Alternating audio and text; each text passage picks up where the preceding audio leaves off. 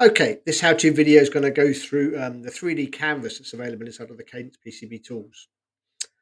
So there's a couple of ways to access this. Um, if we look under the view menu, um, there's the original 3D canvas that you probably recognize, and then there's something called the 3DX canvas. Um, we're going to cover the 3DX canvas in this video.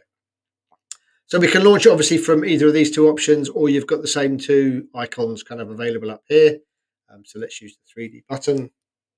This launches effectively the, the 3DX canvas. Um, you may recognize this from the Allegro free viewer that was uh, was issued in version 22.1. Um, and it gives you um, a few panes, easier way to kind of find and manage the data. So um, there's the properties pane where you've got kind of the, the quick selection filter to turn objects on and off and some information about the board, the units, the size of the design, etc.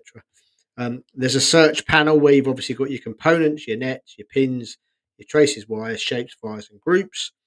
Um, and obviously, if we just find a component, for example, let's just pick on this one. We can double click this one and it would zoom and center to where that object is inside the design. Let's just scroll out. Okay, um, on the left hand side where the panes are, the visibility pane, we've got the ability to kind of look at the different layers available to us.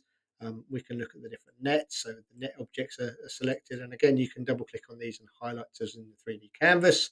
Um, there's a components pane. Let's just turn off the mechanical components.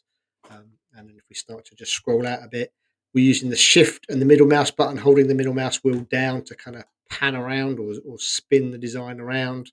We can use the mouse wheel to zoom in and out, and we can uh, hold the mouse wheel down to just pan around.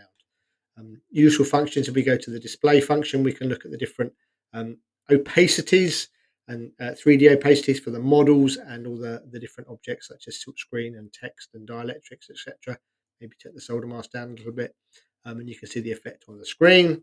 The bending is actually instant, so all the bending now we can actually see the bend as we go along, which can be really helpful as well when you're trying to um, be something accurate inside your 3D canvas. I'm going to open a different board here as well, just to give you another example of that with the uh, with the bending because it does look really cool. Um, so let's go to the 3D canvas again on this clamshell design you may recognize. Um, so obviously the components we can we can take the the, the shadowing off so we, we can see the opacity through here. But if we go to kind of let's just take the opacity back off. And then if we just bend these out, very, very cool the way that that works and seamless the way that it shows. Let's just get of the place bound so we can do that again to the visibility. And we can actually fold that directly inside the canvas.